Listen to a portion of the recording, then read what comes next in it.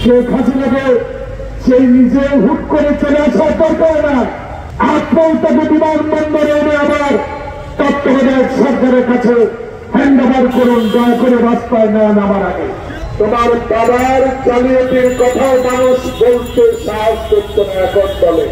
তাই চোরের আওয়ামী লীগ এই বাচ্চারের আওয়ামী লীগ সেই আওয়ামী লীগকে বাংলাদেশে মানুষ আর চায় না আপনার অধীনের এই প্রতিঘোষণ প্রমাণ করে দিল।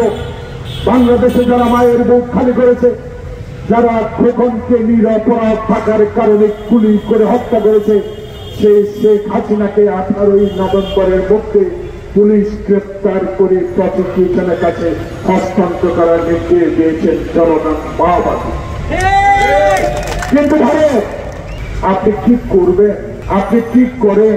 কি করতে চান? আমাদের দেখার এখনই মক্ষম সময়।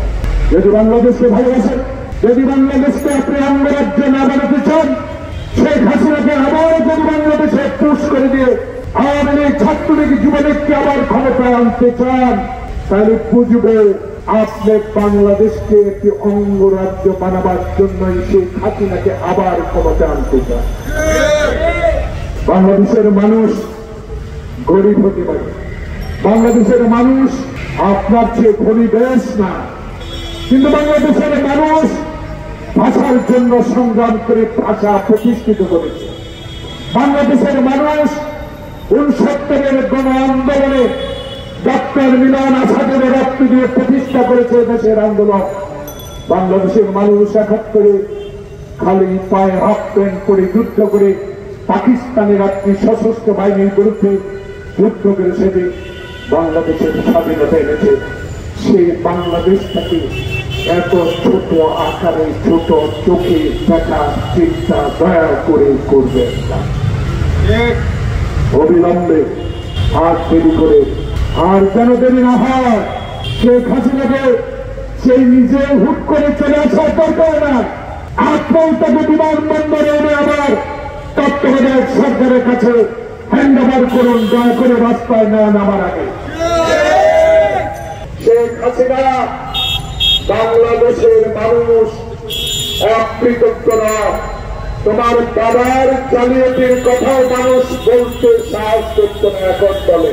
তোমার বাবাই বলতো আমার ডানে চোর শুনতে গেলেছে চোর চোরের প্রমাণ হয়েছে তোমার ভাই প্যান্ট ডাকাতির মাধ্যমে মোস্তফা দেখতেছেন বলেছে।